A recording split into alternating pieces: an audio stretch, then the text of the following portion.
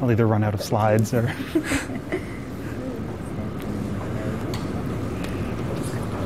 problem. Oh, you okay?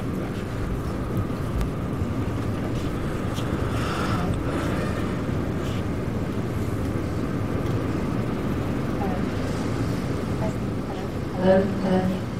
Hi, everyone. So uh, thank you for your patience and welcome to FOSSASIA 2018. Uh, today's track will be on, this has change right at the moment, cloud containers and DevOps. So uh, without further ado, let me introduce you Matthew Treinish. Uh, he is an open source developer at, at IBM, and his talk will be on building clouds done dirt cheap. Thank you. Thanks. Um, so I'm sure everyone's here because they think I'm going to sing like ACDC because of the uh, uh, title of the presentation, but unfortunately, I'm not talking about that. I'm talking about building clouds, um, specifically small clouds. Um, so at my house, I have a lot of home servers, uh, like a mail server, IRC server, that kind of stuff. And I thought it would be a great idea if I had a cloud at home to virtualize all of that infrastructure. Um, you know, everyone talks about moving to the cloud. I didn't want to run my servers on an external cloud. I wanted it on a local cloud. And when I was in college, I was also a system administrator. So I thought, as a developer on the OpenStack project, it would be a very interesting exercise to see how it would work as a small, independent, single user trying to use the software I help develop every day. So the scope of the project was to be, pretend to be a system administrator without any OpenStack knowledge um, going into the project. I would rely solely on installation documentation and Google searches, like everyone does when they're trying to figure out something on a computer, um, to install OpenStack on on something at my house. I set a hardware budget of 1500 US dollars which is a sentimental value for me because that's how much money I spent on my first desktop computer with my bar mitzvah money many, many years ago. Um, and I was only going to concentrate on building a basic compute cloud. Um, basically, I just wanted the infrastructure that I could boot up a VM and shut it down with networking um, on my on my home network um, with an API. Um, at the time of the project, I was going to install the Ocata release of OpenStack, which is from April 2017. Um, that was the latest version of OpenStack when I was doing this project. It is now uh, the Queens release, I think. It's they do a release every six months of OpenStack, so it's the version's a bit out of date. Um, and I would not rely on any pre-existing installation scripts or automation. There are lots of projects out there to help automate an installation of OpenStack. I was not going to rely on any of that because part of the exercise was um, to do it by hand. And one thing that goes against my theory, my thought exercise of pretending to be a system administrator is I decided to install, install from the release tarballs. So just the source code that the OpenStack project pushes out and says this is our release. Um, I did this primarily as an OpenStack developer. I wanted to see, as someone working on the project, how hard it would be to take just the source code we release and turn it into something working, which was actually very um, interesting for me. So the first thing I needed when building a cloud was hardware. Um, and I needed criteria with which to buy hardware because $1,500 is not a lot of money to buy servers. Um, so my first priority was core count per US dollar. Um, for a cloud to be useful, you want a lot of capacity. The most expensive thing for capacity is going to be the number of CPU cores you have. My second priority was RAM per core.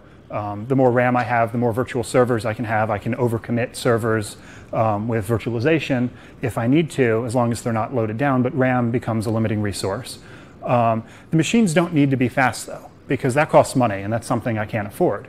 So I started looking at what was out there. Um, a very popular thing for home clouds is to use the Intel NUCs. Uh, I think it's the next unit compute or something. They're little, little boxes with laptop processors in them that are a few hundred dollars. The problem with that is they're laptop processors. So they have two or four cores, which would not have enough core count for what I was looking for.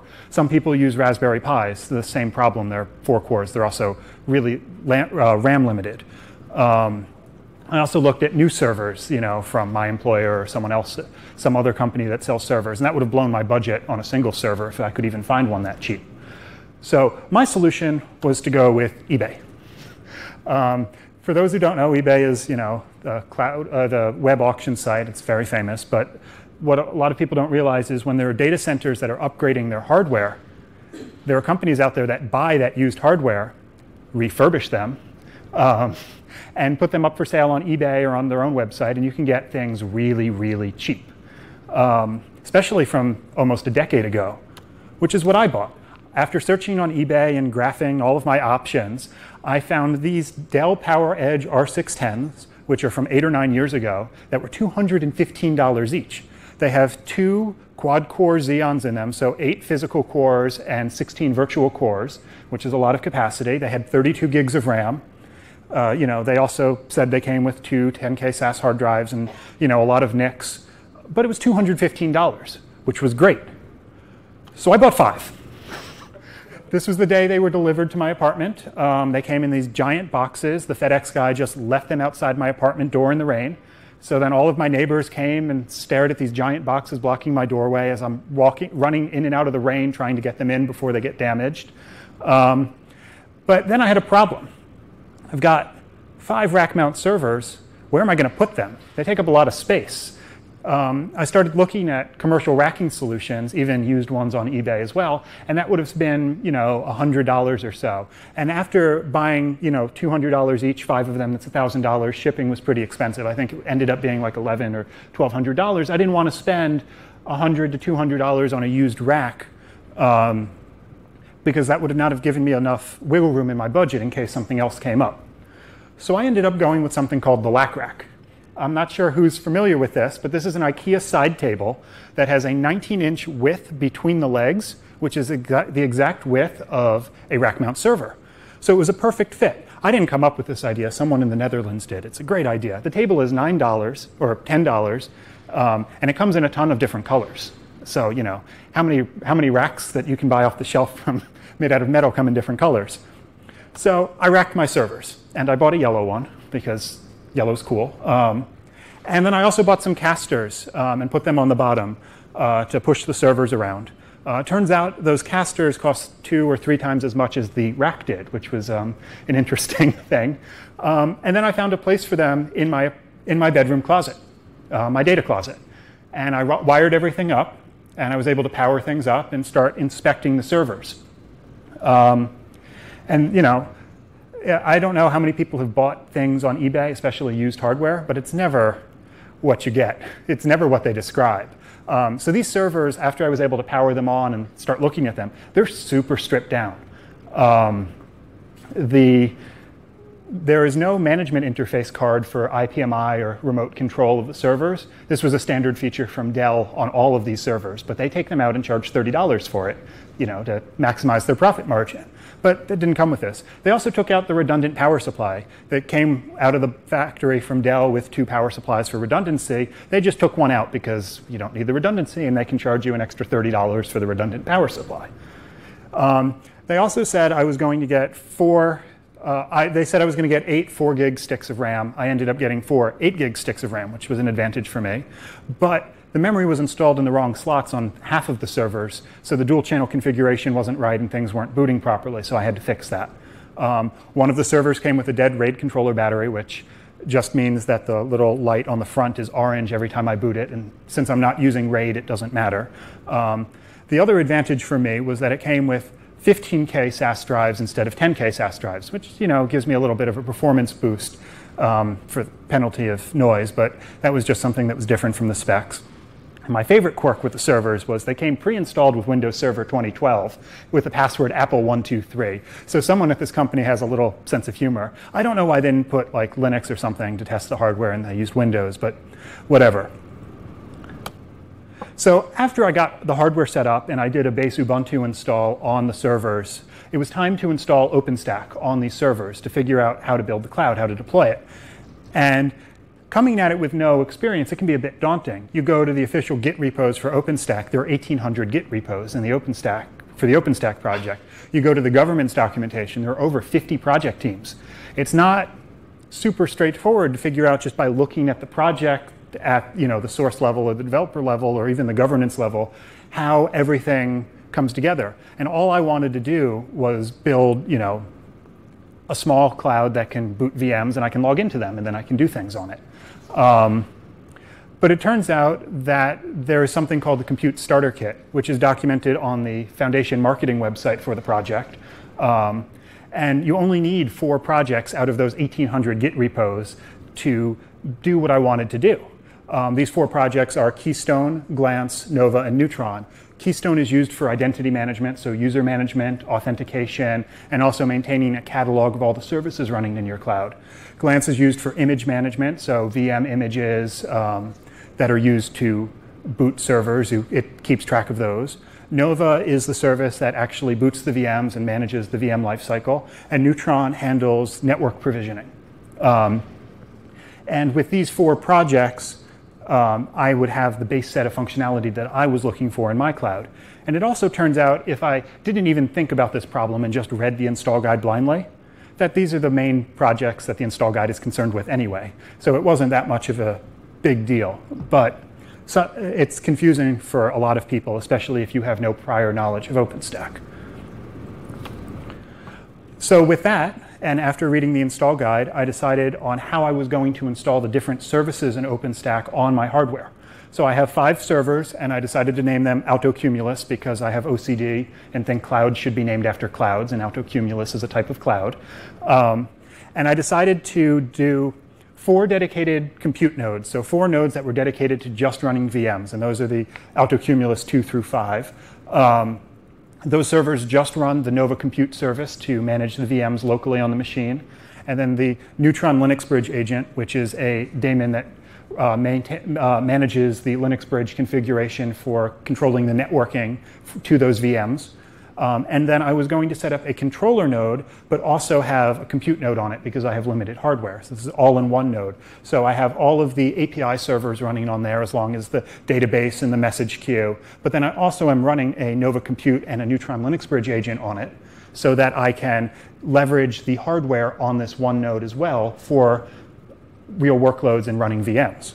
Um, and I thought this was a good balance based on my limited hardware and the limited load I was going to have on this cloud. If I was doing more work, more more dynamic work eh, with more than one user, I would not recommend this configuration because the database and the message queue will get load down, uh, loaded down with a lot of extra traffic. And then I started following the install guide, going through the services. It starts with Keystone, then goes to Glance, Nova, Neutron, you know, to set up the work, set up all the base services, and then all the daemons. Um, but I hit a snag because I was installing from tarballs. Um, in the install guide, it says apt-get install keystone.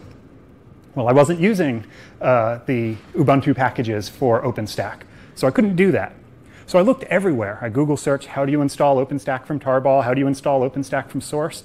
Turns out there's no documentation in basically anywhere. Um, so I failed um, in my thought exercise to try to do it as a system administrator with no prior knowledge. And I put that aside, and I, I have done this before. So I documented the steps you need to do to install from source, which is you download the tarball, then you have to create a service user for the daemon to run as. You have to install the binary requirements for the Python. So OpenStack is a Python project. Some of the Python libraries it uses have C requirements or other language requirements that the Python links to, um, and you need to install those. The problem with that is a lot of projects don't actually document this. So when you do pip install to install the Python code, you'll get an error saying, oh, it can't find, you know, this library file. So then you have to look up the library file and it, install the package and then start it all over again. So if you can find the list of binary requirements beforehand, that's helpful, but oftentimes it's trial and error. Um, then the other thing you have to do is you have to create all of the state directories and configuration directories on the machine. So the, um, you know, like your nova.conf, your neutron.conf, all of the configuration files, you have to create directories and etc for that and then also state directories in varlib. Um, and then inside the tarball, there are sample configurations and default configurations that you need to copy into those created configuration directories.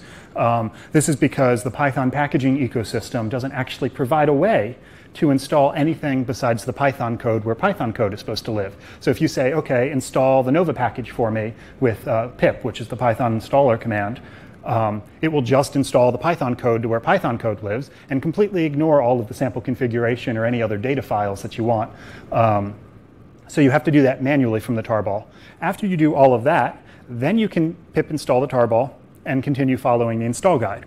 Um, if this doesn't make it clear, um, use a distro package. um, all of these steps are the exact role that distro packages serve. Um, you don't have to be a masochist and do what I did and go through all of the, the exercises when a distro package works just as well and there's nothing to like actually compile or hand tweak. It's just, it's just Python code, so it's just a text file. Um, but after going through all of this, I started with the Keystone project and I did pip install and I started Keystone and I hit my first issue, which is another issue with the Python um, Python installer um, and managing Python projects, um, which was a requirements issue. So I did pip install Keystone and it ran, and then I started the service, and then I got a runtime version conflict saying that one of Keystone's dependent libraries um, was using a version that was incompatible with what, what pip had installed for me. I had not installed this package manually. I said pip install keystone, and it installed, you know, its dependencies, its dependencies, dependencies, and so on and so forth. But it turns out that pip does not have a dependency solver. So it just goes in order of each project's requirements files, and whatever ends up being installed last for a version, if there's a shared requirement, is the one that's installed. And by doing this on Keystone, it installed itself in an incompatible state and the service wouldn't run. Um, when I saw this, I remembered that there's uh, something called uh, pip constraints, uh, which is something that we developed in OpenStack and pushed upstream to the pip project to maintain a single version that you install. So you say pip install with a constraints file, and it lists a specific version for each package um, that's known working. So you basically bypass the dependency solver by doing it out of band manually. So you know there's a known working version for each project. Um, and after reinstalling using that, I was able to get past this and start the Keystone service. And then we got to networking. I continued going along through the install guide, you know, hitting maybe little mistakes here or there that I made, but simple enough to fix. Um, but then it came time to set up Neutron, the networking service. And I was a bit overwhelmed. Reading the install guides, it's asking me all of these questions. Do you want to use self-service networkers? Do you want to use provider networking? And I had no idea. I started reading, you know, the networking guide. There's a separate documentation, there's a separate document about how you do networking. And I read through all of this. And then I found this diagram, which is for the Linux Bridge provider networks, and that's straight from the networking guide. And it explains the topology in my head that I thought I wanted for my cloud. I have everything on a flat uh, L2 switch network with a single unmanaged switch on my home network, which is a pretty common home networking setup, I think.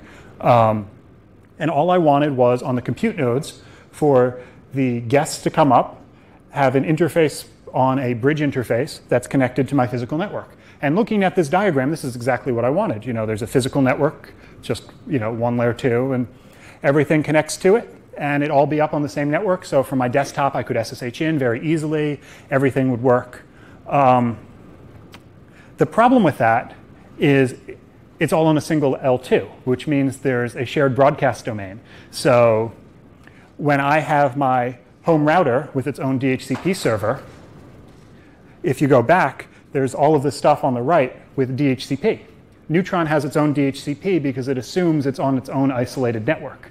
So when I set this up, my DHCP server on my router was getting lease requests from the VMs when they would boot up. And um, also Neutron would see that.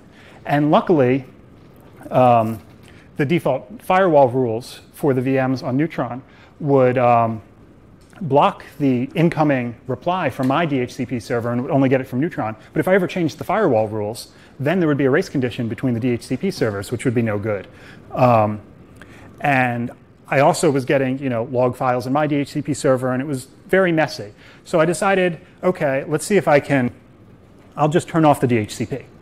And also because there's no DHCP, I can't use the metadata service because uh, for those who are familiar with AWS, they know there's a, um, a metadata server that when a guest comes up, it can pull that and it will get metadata back about how the guest is set up. Uh, it's run on a static IP. I think it's like, is it on the previous slide? No, it's um, like 169 something. It's you know a hard-coded IP for a metadata service, and because of that, when the DHCP agent is running in Neutron, it will set that static route so that VMs can ping that. But if I'm not running DHCP, I can't use that. So I had to turn that off and DHCP off. And then I ended up basically with this diagram, which is the same thing, but without any of the DHCP. And all of my computers are on the, the physical network along with my router, and then the internet's exploding because it's the internet. Uh, um, so with that, I think I, I thought I had gotten the network settled, and I was ready to move on. But then I hit this issue. Um, I'm not sure if you guys can read this, but this is what happened when I started Neutron after figuring all of that out. Um, for those who can't read it because the text is probably pretty small, it says the error message, it's a big stack trace in Python, and then the error message is unserializable message, error, value error, IO operation on closed file. And that's all it said. I have no clue what this meant. It's no real indication of what was going on. It turns out this is how Neutron tells you that the um, net namespace command is not installed on your computer. And this is it saying net namespace not found. It took me about two hours to trace through the code and figure out what was going on to find that. Um, the way Neutron does privileged operations is it runs a separate daemon and there's a socket interface. And it sends the command it wants over the socket interface that's running as root. And that command, that separate process will run the command as root and then return the result. Um, except when it sent the command to do net namespace something and the command wasn't found, it just closed, just closed the socket. And that was what this error was. But there was no indication of that. So I had to actually trace through the code and figure out what was going on to figure out I was missing the command, um, which goes back to the previous slide with binary requirements and not always being so obvious um, at install time what is required. But after tracing through that and figuring it out, I was ready to boot my first guest. And I got this. Um, I said, you know, OpenStack server create with all of my parameters to boot it from an image, and nothing happened. Well, it said it was creating the server, but it just sat there not doing anything. And I was, you know, at a loss. So I started tracing through all of the logs, and Nova said, yeah, it's booting the logs and going through you know, the normal process of booting, getting the image, starting it up with libvirt. Um, the only indication I could find of anything being wrong was this, which was a debug error, was a debug message, not a warning message, not a log message, which just said, wrote zero bytes to that image file with that checksum, which just means it's empty, um, which was definitely not right because I had uploaded an image to test you know, to boot. It was, you know, it was a CirrOS image, so it was like 20 megabytes. Um, so it should, you know, it should boot. There should be something there. But this was the only indication I got. What I ended up having to do was trace through the glance code and add print statements and log statements to indicate, you know, where the where the where the data was going through the file or going through the code. And I found out that it was outside of the glance code, so I had to figure out which library was wrong and install a new version. And after correcting the requirements issue, it ended up working. And after getting that, the guest booted. But then I still wasn't able to log in. I could see the console log and see the server booting, but I couldn't log in. I couldn't SSH into the guest. Um, and this comes back to the metadata service I was talking about before. It turns out the version of Cloud Init at the time I was doing this doesn't understand static network configuration. Um, it, it expects either DHCP or a metadata service. Um, because that didn't work, because I turned off the DHCP server so I couldn't set the route to that IP, it was never getting any IP address, so it was trying to DHCP, but it wasn't getting a response because that was blocked, so it would just sit there. Um, what I ended up having to do was create all of my images using something called Glean, which is an alternative to Cloud Init to manage the initial settings from a cloud um, when the guest is booted. So I would have to manually create the guests, the guest images for each server type that I wanted to boot, um, which is not an ideal solution, but it at least worked for me. Um, this has since been fixed. Um, this was actually fixed upstream in Cloud Init when I originally did this project, but it had not rolled out to like the Fedora cloud image you would download or the Ubuntu cloud image, though it had not pulled in the newer version. The newer versions of the cloud images now use Cloud Init greater or equal to 7.9, um, so you won't have this problem. Um, but if you do, you can always use Glean or another project to create, create your images if you're hitting this issue. Um, so just to kind of come full circle, um, the biggest pain points with doing an install like this for me was Python packaging. Um, almost all of the issues I hit were because I was using pip from tarballs and it doesn't manage requirement. It doesn't manage, it doesn't have a dependency solver. It doesn't manage any data files or configuration. It doesn't understand any requirements outside of Python code. That makes it very difficult to install any of this stuff from source for any Python project, not just OpenStack. Um, and the other thing is that OpenStack is a complex system of software that's doing a lot of things under the covers. So debugging requires a certain level of knowledge about what's going on under the covers. You need to know a little bit about libvirt, a little bit about networking, or in this case, a lot about networking, um, to get everything working. But it's honestly not that bad. 90% of the issues were caused because I did tarballs instead of distro packages. The only real issue is networking the Neutron. So it's not that hard if you want to do this yourself we could improve our logging in the project and error reporting, but it's really not that bad compared to some other software I've deployed on a similar scale. Um, so just to come full circle, because I'm almost out of time, I had a bit of a crisis. What am I going to do with this cloud? I just spent $1,500 and all this time. Now what am I going to do with it? Um, so I came up with two examples, um, which is the only thing I could think of to do it, is um, OpenStack development. Having an OpenStack cloud locally is very useful for developing applications on top of OpenStack. Having a low latency API you can hit to write applications with is incredibly useful. And you also don't have to pay for the usage too much. Um, so it's not, it's very good for developing. And then the other thing I found is something I'm calling cloud native compute workloads, which are embarrassingly parallel tasks where you can just spin up, you know, I have 80 virtual CPUs. If I can use those all in parallel where they don't need to talk to each other for some kind of task, it's pretty good. The individual cores are slow, but there's a fair amount of parallel capacity I can do a lot. In my case, I used um, this application I wrote to do some transcoding. I do a lot of transcoding at home. I'm not going to go into too much detail on why, but so that's what I was using it for. But then there are a lot of reasons you don't want to do this. Um, the first is five 1U servers in your bedroom closet is not a pleasant experience. They're loud, they're really hot. I mean, like I can't sleep at night if these are running and I'm in my bed.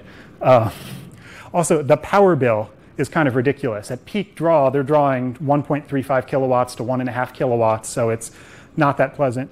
And at the end of the day, I just wasted $1,300. I could have spent that on a weekend vacation somewhere nice. Um, so with that, I have some links for some extra information, including a blog post which goes into all of the details, um, and a link to these slides if you're interested. And I think I'm out of time, so thank you.